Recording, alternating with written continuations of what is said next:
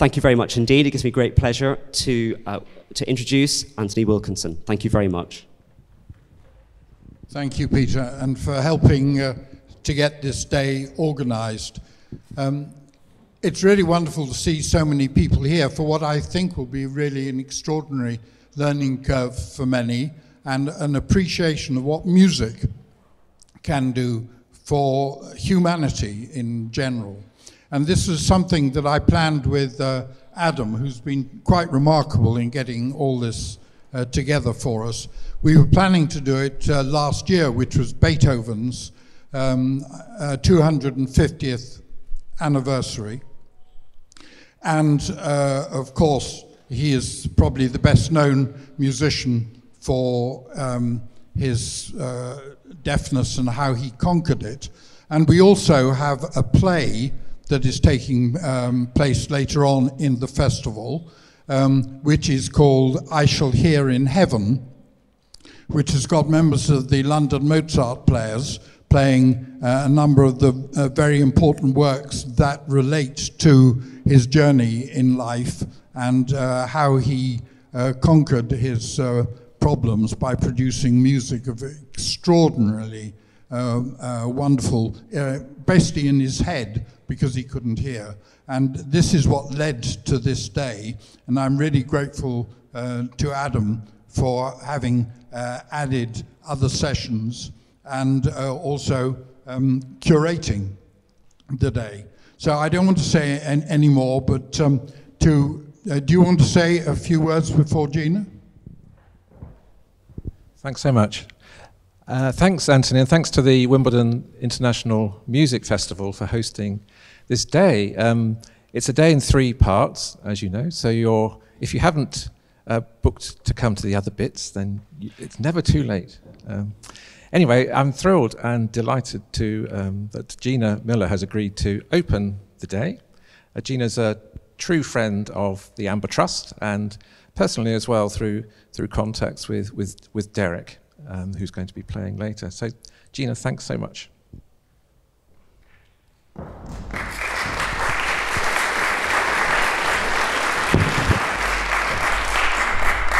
morning, everyone. Thank you so much for inviting me today um, this extraordinary event, which I think will really open our minds, as it were, to music and neurodiversity.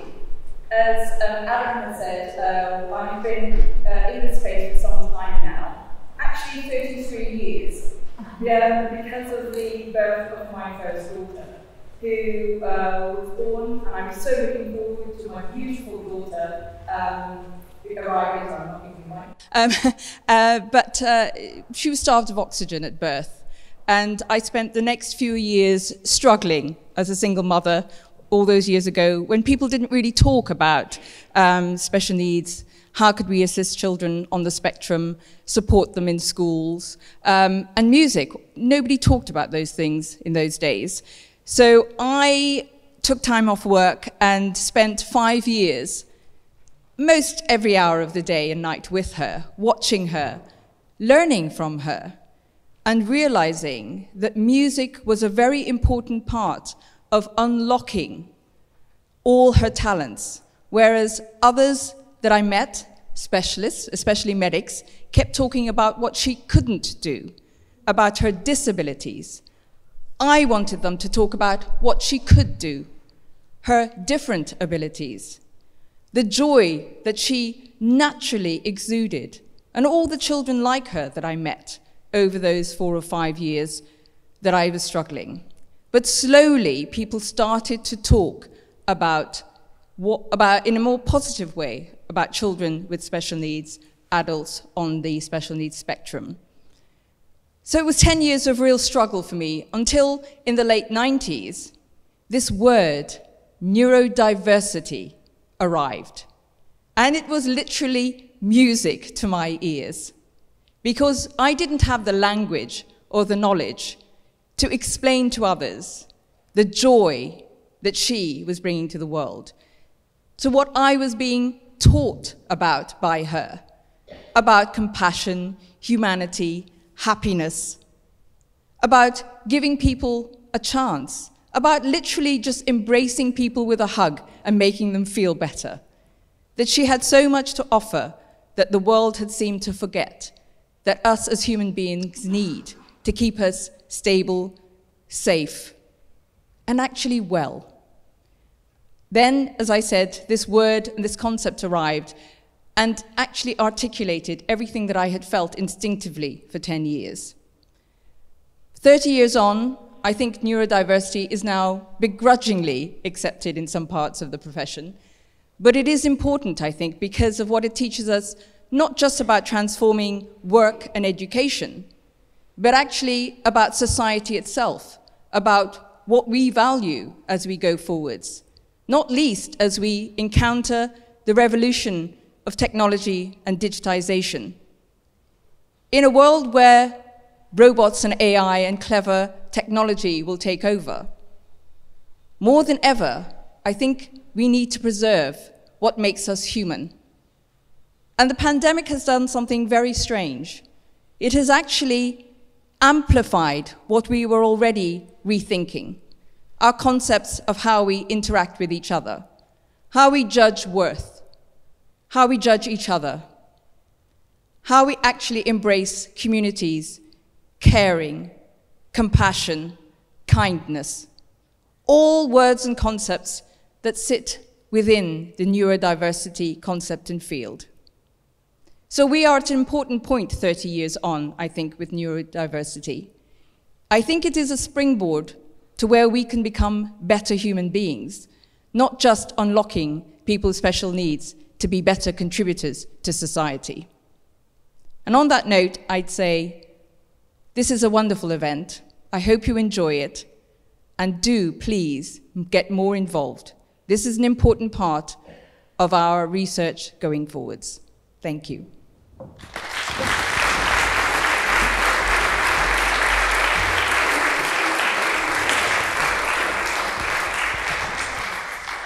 Thanks so much, Gina. It's, it's very powerful um, testament, really, to, to our beliefs, I think, that um, we all espouse. Now, I'm really delighted to um, welcome my colleague and student, but not for much longer, uh, Caitlin Shaughnessy. I'm going to embarrass her and say she's got her PhD viva this week, so be thinking of her on Thursday. But she'll be talking a bit about her amazing research she's done with um, families with young children on the autism spectrum.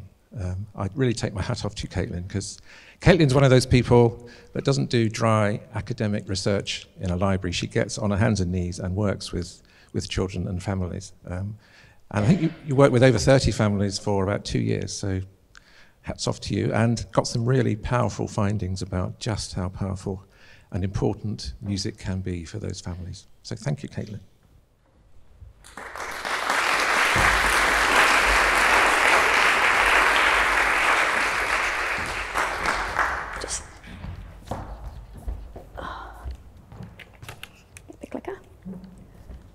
Um, thanks so much, um, Adam, and for having me here today. Um, as he said, I'm going to be talking a bit about my research on autism and music. It kind of has always been a, a long-term interest for me because I also grew up with an autistic brother, and as I was kind of training and doing lessons as a musician, his little face would appear at the door as I was practicing, and then he would kind of sing the melodies that I was practicing as he was going to sleep. And he always had this interest in music, and so that's really where it started for me. But as Adam said, I've been doing a PhD over the last couple of years, and I've really looked at how music can help families with autism. And so technically the title is The Impact of Autism on the Development of Musical Abilities in Childhood. But really what it is is the impact of music on the development of autistic children and how music can help um, kind of provide them with an outlet for expression and development and interaction really. So this is Romy.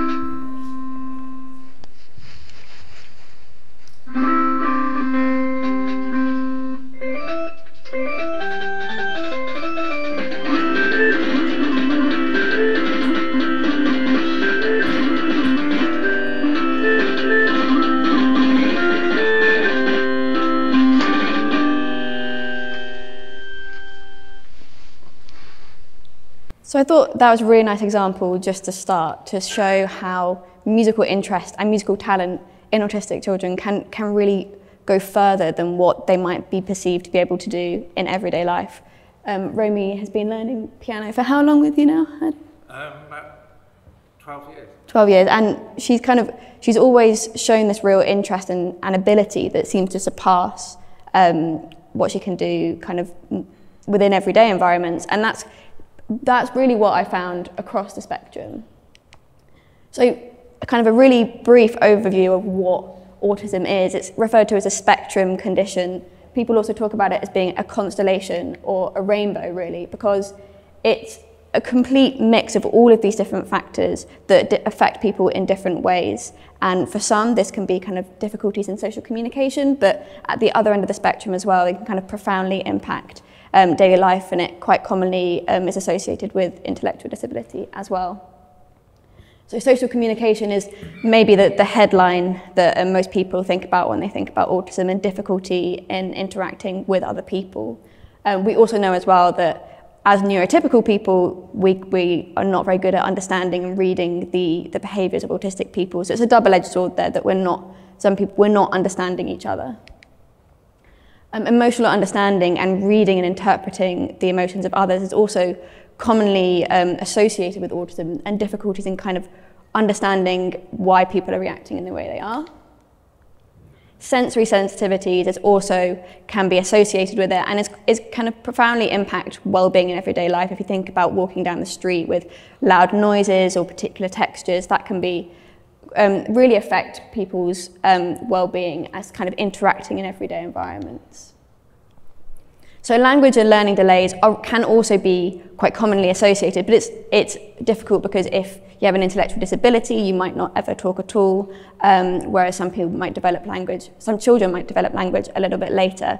And a lot of the priorities of the families that um, I was working with was their children weren't talking and they couldn't understand what they needed and what they wanted. And so using music and using strategies in order to just really help their children in everyday life when what they wanted to eat, what foods they didn't like because of their sensory sensitivities. These kind of things were really at the forefront of the family's needs. And finally, special interests and talents. So if you think about autism in the media, um, quite commonly you'll think of the, the geniuses or the, the savants, those that are kind of really exceptional at what they do, like, like Derek.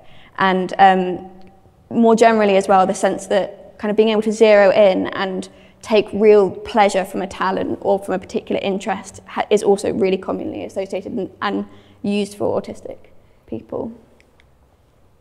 So what we know so far about music and autism is generally, there's been a fair amount of research on it, but it's quite anecdotal. We do know that they have a higher rate of perfect pitch, so this is where you can identify a pitch um, when it's played on the piano. I think in autism it's about 1 in 400, whereas in the general population it's about 1 in 10,000. So there is some kind of relationship there that is going on that really, there's an affinity within this kind of sound environment. Um, examples of musical savants, Derek, um, individuals that have kind of exceptional talent um, with music and also are autistic. And also just general experiences of families after families after families talking about the importance of music in their children's lives. And when it's surrounded, as Gina was saying, by the kind of the pathologicalization and the medical descriptions of their children and what they can't do, the interest in music and what the, the expression that that gives them has been really, really important. So why a musical space is special. What, what is it about music that kind of creates this environment for kind of unimpaired interaction? So we know that music in childhood is really important anyway. Our first interactions as babies are kind of pseudo-musical and um, children consistently integrate music in, in their play, in nursery rhymes with kind of turn-taking and rules with in games. And it's very much the same thing for autistic children. It provides a, a kind of a medium that is easily understandable. Unlike with everyday speech, music is, has kind of clear endpoints, it has clear rules, and that kind of provides an avenue to which they can interact um, kind of more readily. So what some of my research looked at was how are families using music and how can we really harness this uniqueness of this musical space um, to, to better support development. So these are just some of the families um, I've worked with, and we asked them to, to kind of continually update us with what they were doing. Um, we sent them a, well, I came along with a, a little keyboard and a box of instruments and, and showed them little games and strategies, really, musical strategies um, to use in everyday life. So 30 families over 12 months kind of worked with me, gave me continuous updates on how their music was developing in everyday life. And I would go at four points, interrupted somewhat by the pandemic, to kind of see how they were doing and also how their musical behaviours had changed when we were able to support them properly, when we were able to show them how to kind of nurture their children's interests. So this is the only graph of the day, I promise. But um, what you can see here is really what we wanted to see, which was the line of musical development going up. Um, so what we used to monitor the children was actually what we expect to see in neurotypical children. So the development of musical skills um, in general that has been observed, which you'll hear about um, a little bit more later today, I think. So what we saw is that all the children were able to develop and improve musically in the same way that we would expect normal children to, but they just weren't as explicitly tied to age. What you might see here is that the dots at the beginning were really spread out, so there was a big variety in, in the, the families that I was working with and what their children could originally do. And this was predicted by how kind of profoundly autistic their children were. Their children were really not speaking and had quite difficult behavioural issues, they were scoring a little bit lower. But we were able, I was able through kind of supporting the families and supporting their musical development to get them up and, and encourage that development anyway. So really, even though at the start um, the behavioural difficulties and autism seemed to impact upon their musical abilities. Actually, it was just about unlocking those strategies for the parents and for each individual child to, to help them develop musically. So what we found is that, as kind of parents have been saying for, for years, is that the autistic children were really engaged within these musical spaces and did seem to interact better than they did in everyday life or wanted to interact more than they did in everyday life. All children, no matter what their um, level of disability, had the capacity for musical development. And when we provided them with the right strategies, they were able to improve. For some, and for many actually, this was the, their musical abilities were much more advanced than the communication and behavioural um, abilities. So, for example, those that didn't speak very much could sing really well, or those that kind of were very isolated within themselves in everyday lives were very playful and turn taking and interactive within musical play. But for, for some families and for some children that had kind of additional needs, you need, they needed this extra support. They needed um, the instruments and the resources that we provided as a way to kind of unlock this potential. So I thought I'd just, to give a richer picture, just give some of the feedback from the parents that we got about the music and its importance to them. So he does talk, but not as well as he sings. So he'll now sing a complete song, all the words complete and everything. I don't know how that must feel for him to be able to sing, because it must feel really good to be able to sing everything out if you can't really talk. And that's what the really lovely feedback that we got and that I got from all the families was the, the role of expression and the, the outlet that music provided as a way to, to release and to, to interact on a world that they were more in control of, that they felt confident in, that wasn't associated with the, the difficulties and the trauma and everything that was um, seen in, in kind of normative social environments. So how can we better support this and what implications does this have for kind of how music can continue to help? So what we saw is that um, social interaction, as we measured by kind of behavioural questionnaires, did also improve as their musical abilities improved. So there was some level of transfer that as the kids were doing more musical play and interacting more within music, they were also being able to apply this in everyday life. As we know with general kind of neurotypical research in music, emotional regulation is a really important part of why we use music. And for the, for the children and for the parents, this was really important. Um, autistic children can have really difficult behavioural um, needs because they haven't quite learned yet how to, to regulate and using music as a way to kind of manage these emotions, kind of direct the meltdowns and, and kind of negotiate those really difficult periods was also really important. Communication as well. Um, so the children showed if they were more interested in music in everyday life than normal speech, and why wouldn't you? Because it, it sounds better. Um, by teaching and kind of communicating with the children through music, they were able to, to teach their children daily life skills, so washing your hands, or this is the time that we need to eat, this is the time that we're going to bed, and managing those transitions. And this kind of use of music as a part of everyday strategies, again, was really a way to, to, to prevent some of the, the difficulties that these families have been having in everyday life, just because purely miscommunications between the children's needs and the parents' um, difficulty in understanding those needs. So apologies for the long quote here, but I, I just think it really encapsulates um, the role of music um, for this, this family and for some of the families. So I think the fact that one of the things about it is that it gives him attention. I think being autistic and nonverbal is lonely, and I think the music gives him an audience. It gives him something to be able to be seen. Can you imagine not being able to verbalize? And so this shared sense, it's like you're piercing into his world and giving him that time. And that's what he has enjoyed and has really made an impact upon him in that way. And I think what music does, it allows and makes people engage if you can't speak, it engages and connects. It connects both worlds his world, your world, and he gets that attention. By piercing through, that has allowed him to become more sociable, more like connected to people. And this idea that the, the space, the musical space, the musical play was unique in this sense that the children were in control and could really interact on their own terms and be provided with an interaction and an interactive experience that they didn't want to access or couldn't necessarily access in everyday life. And again, thinking about emotional regulation as well, we still don't entirely understand what is going on in musical spaces, but we know that it's a space that you can just kind of get into and be taken away from. And I'm sure everyone here has also experienced that when listening to music. So he's much calmer, and when he listens to music, he's actually enjoying it, although you might not, it might not be something that an outside person can recognize.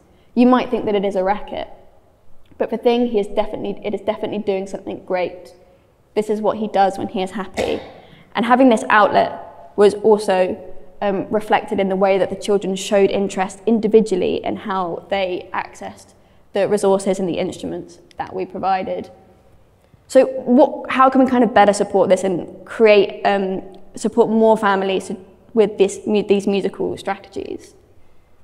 So firstly, we found that um, the affinity to patterns was, was really important and music is underpinned by patterns from kind of the very first nursery rhymes to, to Beethoven symphonies. And encouraging and showing the children how it built up out of those patterns was a kind of first way to really, to really harness their interest there. Secondly, easy access to instruments. So we brought the instruments and I left them at the homes of the families and the parents talked about the ability to just go and pick up the keyboard or pick up a, a maraca or a tambourine and explore it on their own terms was really important to build the confidence of the children, which meant that when they were playing, they felt like they were kind of um, even in an even partnership with their parents or their siblings or, or me or whoever they were playing with the importance of everyday exposure as well. So instead of maybe an hour's music therapy session once a week or, or once a fortnight, these kind of 10 minute micro blocks of play that the parents would do maybe at the kitchen table or after dinner, those were every day just kind of gradually, gradually increasing. The, the children showed much more responsiveness to that. And also the importance of allowing the children to, to be in control, to develop their confidence and do it themselves through self-directed exploration. So instead of trying to teach the children, they were all very able, more able than many adults I've seen, to able to pick up the patterns on the keyboard and just kind of fly with it. They wanted to control themselves. They had very clear preferences of the music that they wanted to try and play, the um, the different instruments that they felt most affinity to. And so allowing this and allowing the children to really go use their own interest to further um, their musical development was a key way to then kind of bridging the gap here. And so finally, I just want to think about this from the lifespan perspective. So what can we really do? There, I've said that there are kind of developmental implications about how we can support children, but it's, it's not kind of a miracle. It, instead, it's just a really important way of building kind of resilience and well-being within lives and supporting neurodiversity within kind of the framework of life. Um, this is my brother, I think a couple of years ago now. Um, and for him, he has an intellectual disability as well as autism. And he will always um, very much kind of need be cared for and things like that. But music is a way for him that he can interact with other people, have friends, create a shared interactive space. And for, for me and for Adam and for people that he meets, he enjoys doing music with them as a way to connect with them.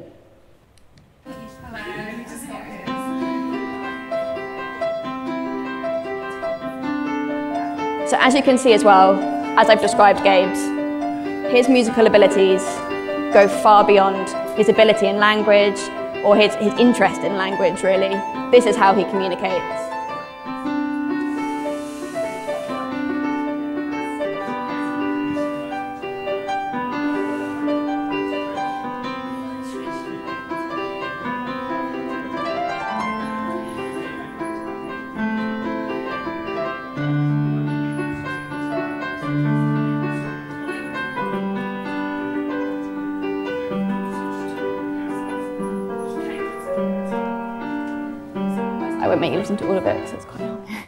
Um, but yeah, it, he's not um, ever going to be a concert pianist, and but it's just very much for him. It is his reason for life, and it, it, it brings so much happiness and joy to the, our family, to him, and to I think everybody that cares for him as well. That for me, that's really what the crux of my research is about, and the importance of music for just kind of bringing it, bringing joy and life to, to these families. So, thank you very much.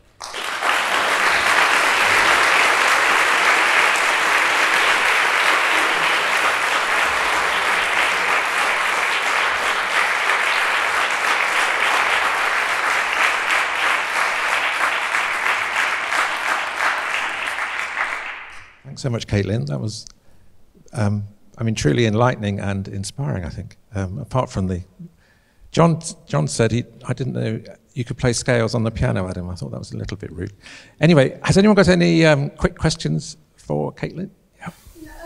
Your, was your approach with the children uh, a standardised approach, or did you in, straight away draw from what they had done before, what their families, was it all very individually sort of tailored? Yeah, it was very individual. I kind of wanted to show the parents that you didn't need to be musically trained at all to be able to, to kind of use the instruments and the resources. So when I got there, I just saw where the children were at, incorporated the parents and just played with them really, um, without kind of using any anything too complicated.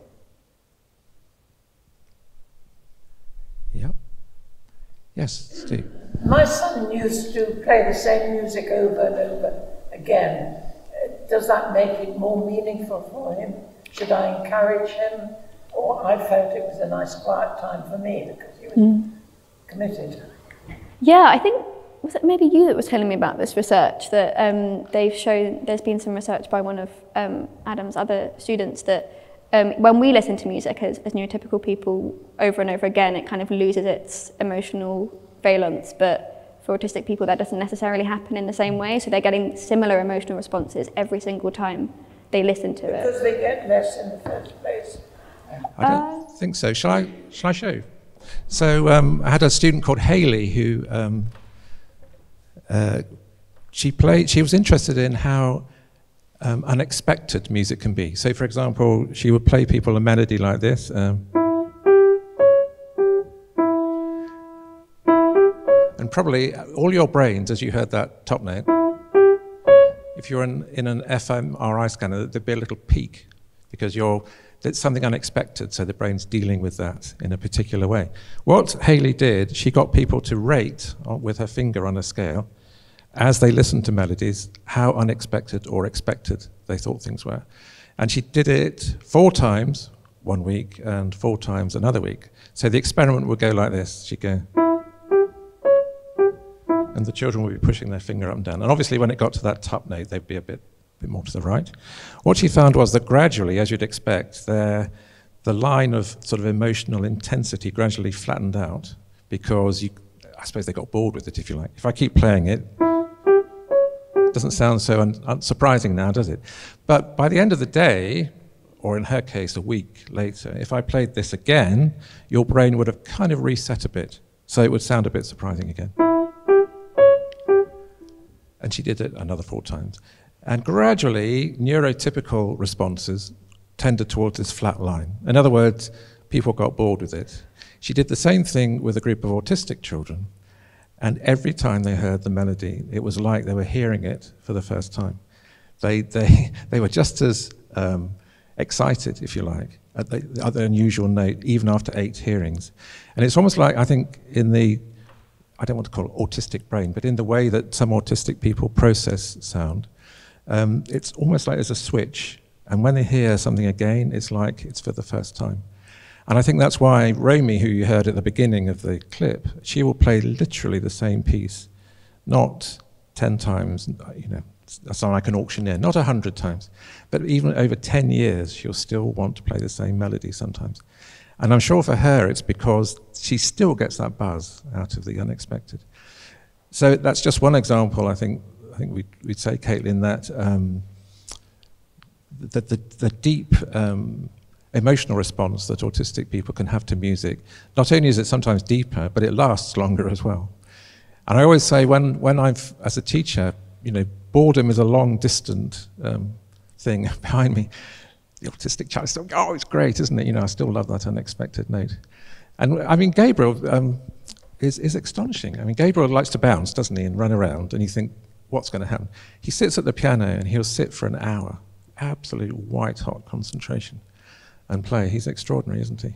In fact, Derek's over there, we're going to hear from him in a minute. And we just left Derek and Gabriel to play on two pianos a few weeks ago. And, and they, you hadn't met Derek.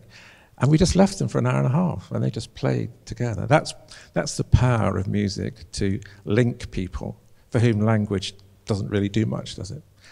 And I think your father was there and your mother was watching on Zoom. I'm deeply moved by this incredible relationship that we hadn't we weren't there, we weren't refereeing, they just got on with it. It was really quite, quite touching. So, once again, thanks so much, Caitlin. That was fascinating.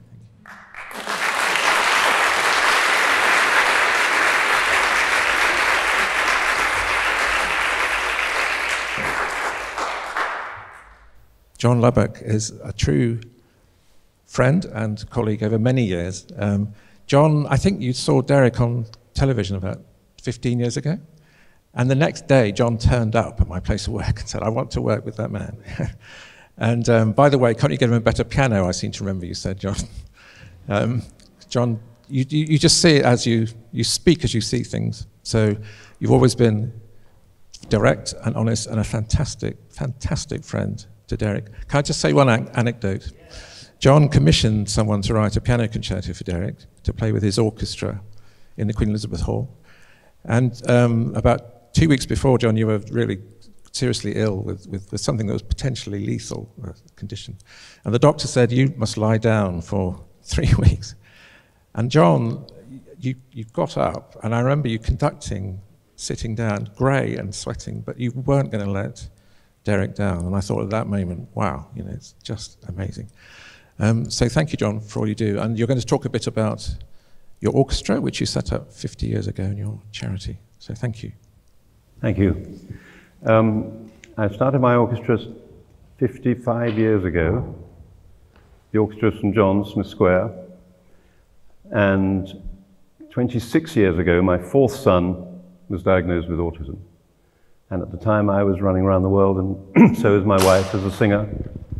And we stopped all traveling which actually was a blessing. People think all those hotels and airports are rather glamorous if you don't do it, but if you do do it all the time, it's very tiring and expensive, and so we were delighted to give it all up. Anyway, so we had a bit of time on our hands, obviously, so my wife had the brilliant idea of starting a a charity which involved the two things that obviously our life was now entirely devoted to, which was music and autism. And actually, it, it, it must be the simplest project going in the music world. I simply take my musicians into special schools and we just play to these children. And we don't do anything else. I've, I've been involved in various very good projects, clever projects, the Royal Opera House and Wigmore Hall and various places. And they involve autistic children, but those projects eliminate probably 80% of the children we play to because they make demands. You have to do a certain thing at a certain time. Well, most of the children we play to, that's just not going to be possible. So there is no disability in the schools that we, we go to who don't benefit from these concerts. And because they have this complete lack of inhibition and sort of teenage, you know what teenagers are like, um, they just respond so wonderfully to the music. As I say, we, we really, we just do what we do, which is perform music, which we do all the time. And the music does it all. They, they respond immediately. They dance, they sing, they conduct, they may sleep. You know, I, I see a child sleeping, I think, oh God, he's bored. And then I see the teachers crying. And so I say to the teacher afterwards, what's going on there? She said, well, he's never sat still in his life and he's 10 years old. And he spent 20 minutes completely still. So, I mean, there are some. So we went to a school this week called the Forum down in Shaftesbury, and I think it has the most severe children. It, the, the staff is two or three to one, staff ratio pupil. And every time I go and we start playing to them, and I think, oh gosh, are, are we doing anything, you know? And then I see the teachers in tears. So the, the change may be very small and maybe even possible for me to understand because I don't know the children normally. But there just, there just isn't a disability that's so great that this music, the magic of music, does something, whatever it is. We had a child the other day on a bed, helping to breathe, apparently nothing going on, and a carer and a father, and the father was just completely blown away. And he saw something in that child, you know, a tiny little movement, tiny little smile, little movement of the foot, it doesn't matter how small. It's just so extraordinary. And it's these concerts, as I keep saying, we don't really do anything clever, so I don't claim any, any brilliance on this subject at all. It's just the most extraordinary manifestation of the power of music to speak to these people. And because they have absolutely no barriers and no inhibitions, you know, we've had all this stuff bashed out of us by parents and teachers. And we're, you know, we, we sit like all you guys are sitting very, very well and behaving. Well, they don't go do for any of that, of course. And so, and that's so wonderful to see. And my musicians absolutely love it. You know, we can play for 40 minutes in a concert hall, a Brahms symphony. Nobody moves a muscle. You know, and, and then there's a bit of this at the end. But these kids, you know, immediately we start, they're up and doing all these wonderful things. He knows, he sees it all the time. We do loads of concerts with Derek for, for these children. So it really is the simplest project you can imagine but it's such a strong manifestation of the extraordinary power of music to get through to these children and help them in every way. It helps their confidence. I get them to come up and conduct. And honestly, I, I wish I'd brought some film. It's, it's extraordinary how they respond to the music, some of them. Within a millisecond, if there's a long note, you know, they do this, and then there's four semiquavers, and they do this, and then there's another long note. And they don't know the music. I mean, the response is absolutely instantaneous. And sometimes I get them to conduct the ones who can clearly sort of understand and have got some competence in this. I say to them, okay, you conduct any way you like, and the musicians will play, they play any notes, but they play the feeling of, the, of what the conductor is doing. So if he's doing slow stuff, he's fast stuff, he's loud, or it's quiet, all this.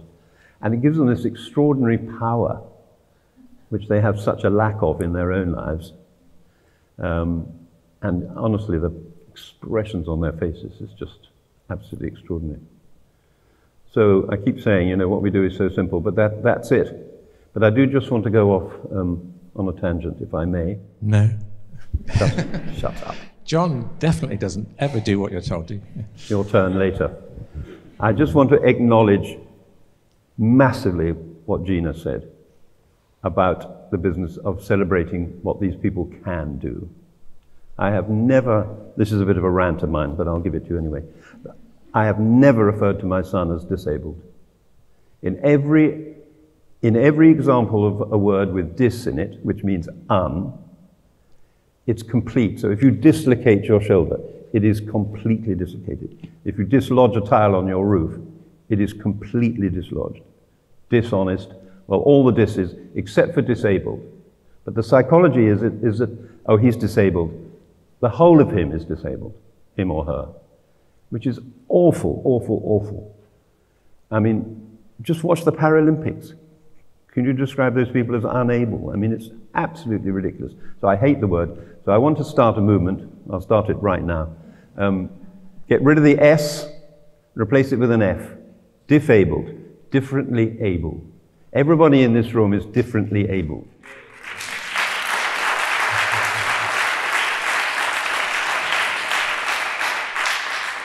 Anyway, you can help me. Um, i have got another 20 years. By the time I die, I, I, want this word to disappear. I hate it, hate it, hate it. And I think, that, I think the Italians say differently abled, actually. So it's not, it's not an original, original idea. But it's so positive. And, you know, I think one of the awful sort of psychological things in society of the word disabled is it allows society to put all these people in a box, slightly to the side of life. Whereas actually, they could be one of the most powerful groups of people in the world. If every school leaver, Bolshie school leaver who's thinking of getting a knife or a drug or any of that nonsense, if they had three months with a so-called disabled person as a sort of compulsory voluntary service in a care home or with some of the children we're talking about or in any so-called disabled, it would completely transform their life and, and reorganize their priorities and make them realize what they have when they think they haven't got anything because they haven't got enough money for a new pair of trainers. It would completely change all that. So there could be such a powerful group in society to teach us. There's so much joy. I mean, Gina was talking about that. My son, honestly, I can't begin to tell you the joy he brings his parents and his brothers, all the people he comes in contact with. He's just a lovely, lovely boy.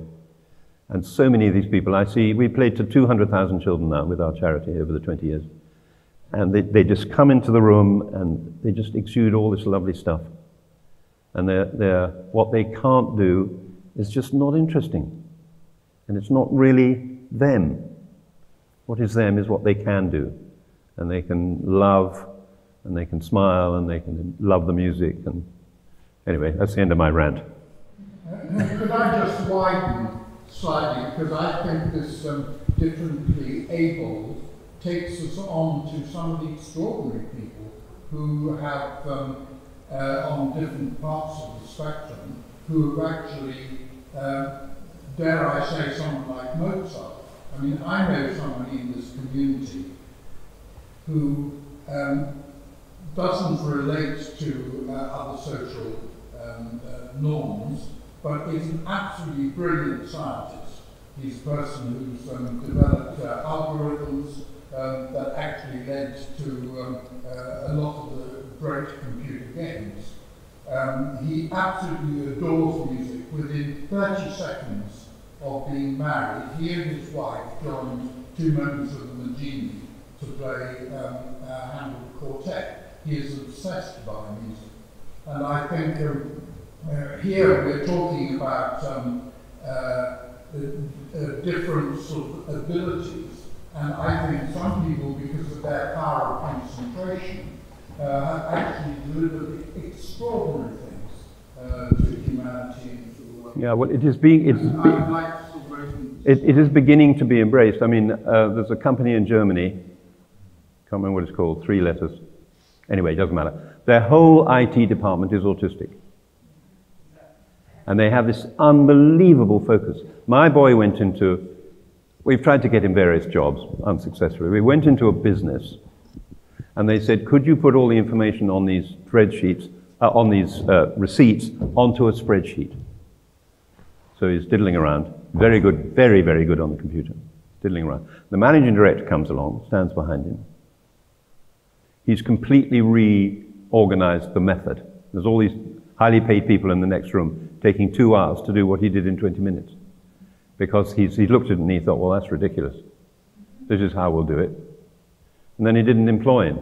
You know, what can you do? It was just so unimaginative not to. I mean, he, he was only going to go an hour a week with a carer, so there wasn't going to be any problem. But he had actually transformed a small part of that business. And this, this, this um, Richard Branson, I think, is now embracing this too. He's got a lot of autistic people in his business. And this, this incredible concentration, you know, and they don't stand at the water heater talking about EastEnders last night because they don't, they're not interested. Yeah, Gina. I was just saying there is a lot of work going on in, um, in workplaces and companies. Yeah. Because what they're finding is that uh, to embrace the talent Yes. of neurodiverse Yes. is a huge boost for their companies, but it does have a knock-on effect to the way workspaces are designed and also um, assessments of individuals and application forms. So there's a huge rethink that needs to happen around audit, but there is now a shift in thinking that as we embrace the future, in particular technology and you know, powerful AI, that there seems to be some connection between mathematics, music, Yeah. the way the brain works, and, and sort of in that side of the brain. Yeah. So there is more work being done there. But I, what I find absolutely disgusting about this is I do know in a particular profession that those individuals are being paid much less. Yeah, of course. Demanding. So somebody going into the profession from a neurotypical set um, group qualification will earn, say, for example, 60,000, whereas somebody with a neurodiverse background is earning 25. And that is wrong. So there's a lot of need keep an eye on. Oh, I, I, I mean, it's only in baby, baby steps, but I think people will come to realize, as you say, particularly as the world becomes more technological, and these kids have, un, un, I mean, my son, you know, if I've got a problem on the phone or on the telly, and he does it so far, I say, could you teach me? And he goes, it's done. And I haven't a clue what he's done, and he can't do it slower. But I mean, you know, when you go into somebody's house, you never see the same video player as yours. So you can't work it. He can work everybody's video without any pre thinking. He just gets the, the old whatnot, and it's all done. So please. Um, going back to the employment issue, um, there is a charity, one of mine as it so happens, um, called Autistica, which really focuses on helping to set a gold standard for employment, helping employers, helping individuals, and the theory of how to get into employment, how to keep employment, and they operate with both the high, the genius type level uh, of mathematicians and computer scientists, and people like my son who, who at best good to perhaps make an ashtray. Yeah. Well, uh, that's wonderful. And the faster this happens, the, the other benefit, of course, is that the other people um, in the company will learn. I mean, my son was at Lord Bill's at um, Thame. It was on an in autistic unit in a comprehensive school. But his tutor class was from everybody in the school of his age. So him and maybe another of his mates, and then all so-called ordinary children. And they learnt as much from that. And, and because they, you know, they have those five years, when they come out of that, these people are just people. They've got this problem, they've got their own problems, whatever it is. They're not, you know, here. They're just part of their community. They've learnt to understand that these people are just people. They got a bit of a problem for this or that. But it, it isn't a sort of separating thing, which this horrible word disability does. It separates them from us.